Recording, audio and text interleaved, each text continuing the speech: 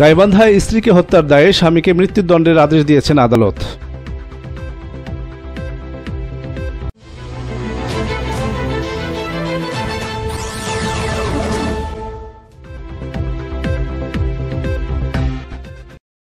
আসসালামু আলাইকুম। এমকে টেলিভিশনের নিয়মিত সংবাদে আপনাদের স্বাগত জানাচ্ছি আমি শারমিন মিনা।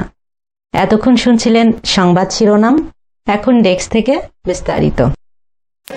গাইবান্ধায় স্ত্রীকে হত্যার দায়ে স্বামী আতর রহমানকে মৃত্যুদণ্ডের আদেশ দিয়েছেন আদালত। মঙ্গলবার দুপুরে সিনিয়র জেলা ও দায়রা জজ আদালতের বিচারক দিলীপ কুমার ভৌমিক এ রায় দেন। রায় ঘোষণার সময় আসামি আদালতে উপস্থিত ছিলেন। মামলার এজাহার সূত্রে জানা গেছে, ষোলো বছর পূর্বে গাইবান্ধার সুন্দরগঞ্জ উপজেলার কাঞ্চিবাড়ি গ্রামের আনোয়ারা বেগমের সঙ্গে পার্শ্ববর্তী গ্রামের মৃত রিয়াজুল আকন্দের ছেলে আতোয়ার রহমানের বিয়ে হয়। বিয়ের পর থেকেই যৌতুকের দাবিতে প্রায়ই আনোয়ারা বেগমকে শারীরিক ও মানসিক নির্যাতন করত আতোয়ার। এরই ধারাবাহিকতায় দুই হাজার উনিশ সালের ছয় জানুয়ারি রাতে আনোয়ারা বেগমের মাথায় লোহার রড দিয়ে আঘাত ও গুরুতর জখম করেন আতোয়ার। পরে গলায় ওড়না পেঁচিয়ে শ্বাসরোধ করে হত্যা করে বাড়ির উঠানে ফেলে রাখে। পরদিন সাত জানুয়ারি আনোয়ারা বেগমের ভাই মাহির উদ্দিন তার ভগ্নিপতি আতোয়ার রহমানকে আসামি করে মামলা করেন। দীর্ঘ শুনানি শেষে আতোয়ার রহমানের অপরাধ প্রমাণিত হওয়ায় আদালত আজ এ রায় দিয়েছেন।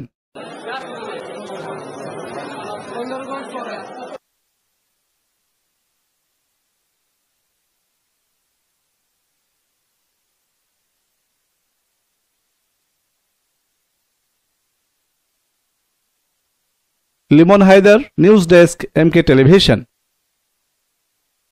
শেষ করছি এমকে টেলিভিশনের নিয়মিত সংবাদ। এতক্ষণ সাথে থাকার জন্য সবাইকে অনেক অনেক ধন্যবাদ।